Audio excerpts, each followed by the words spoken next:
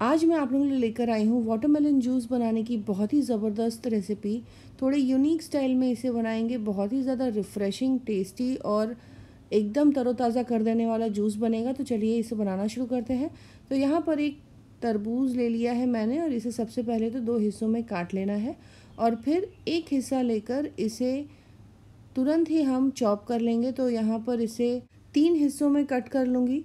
तो ये देखें यहाँ पर अब गुदा यहाँ पर निकालने की ज़रूरत नहीं है, बस चाकू की सहायता से इस तरीके से सबसे पहले तो पतले पतले स्ट्रिप्स काट लेंगे और फिर ये देखिए यहाँ पर इस तरीके से चीरा लगा लेना है और फिर चाकू की सहायता से इसे फिर देखिए बारीक इस तरीके से चॉप कर लूँगी। तो पूरा का पूरा गुद्दा झटपट कट के अलग हो जाता है। बीज निकालने के लिए टाइम वेस्ट करने की ज़रूरत नहीं क्योंकि बीज जो है आसानी से बाद में निकल जाते हैं। तो जितना गुद्दा हो सके उतना अच्छे तरीके से इसे निकाल लें तो इसी तरीके से सारा का सारा गुद्दा मैंने निकाल लिया है। थोड़ा सा इसे मैश कर लूँगी। ये देखिए यहाँ पर, जिससे कि वाटरमेलन का थोड़ा सा जूस एक्सट्रैक्ट होगा, तभी इसका फ्लेवर हमारे शरबत में आएगा। अब यहाँ पर मैं डाल दूँगी एक लीटर के करीब पानी। तो एकदम चिल्ड पानी यहाँ मैं डाल रही हूँ। आप देख सकते हैं, अच्छे से मिक्स कर लेना है। और फिर इसे फ्लेवर देने के लिए यहाँ पर मैं डाल रही हूँ रोज़ सिरप तो इसे बहुत ही अच्छा फ्लेवर आएगा हमारे शरबत में। तो यहाँ पर डेढ़ कलछी के बराबर मैंने रोज़ सिरप डाला हुआ है।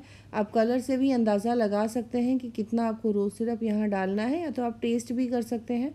और अब इसे फ्लेवर देने के लिए मैं डाल रही हूँ डेढ़ नींबू का रस। तो डेढ़ मीडियम साइज़ का नींबू लेना है और उसका जो रस है निचोड़ कर यहाँ पर शरबत में मैं डाल दूँगी।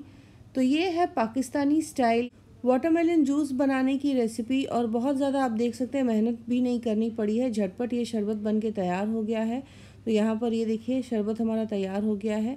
यहाँ पर एक एडिशनल चीज़ डालूँगी और ये है चाट मसाला। चाट मसाला से बहुत ही अच्छा फ्लेवर आता है।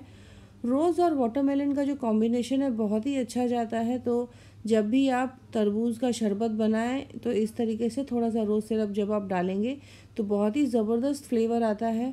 और इसे और भी तरीके से बना सकते हैं। मैंने इसकी और भी रेसिपीज़ डाली हुई है, जिसमें मैंने पुदीने का भी यूज़ किया हुआ है।